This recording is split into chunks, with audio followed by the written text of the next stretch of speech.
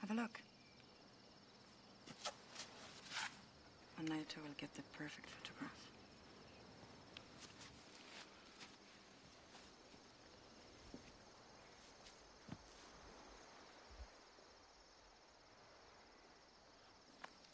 Hi.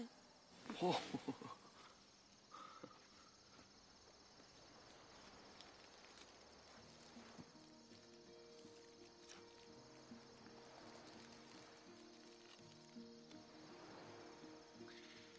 You realize that in the eternity of space, there's probably a planet out there, right? Just like this one, where another you is photographing back down towards us. I mean, essentially, you are photographing yourself in a parallel universe. Incredible. Yeah. I mean, there are infinite worlds out there, you know? Anything you want to happen does happen.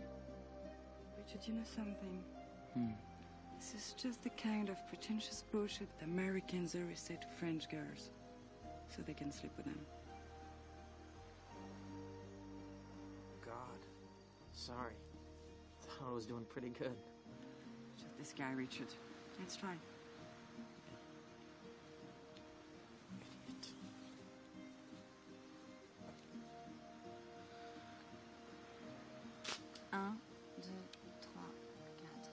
When you develop an infatuation for someone, you always find a reason to believe that this is exactly the person for you. It doesn't need to be a good reason. Taking photographs of the night sky, for example.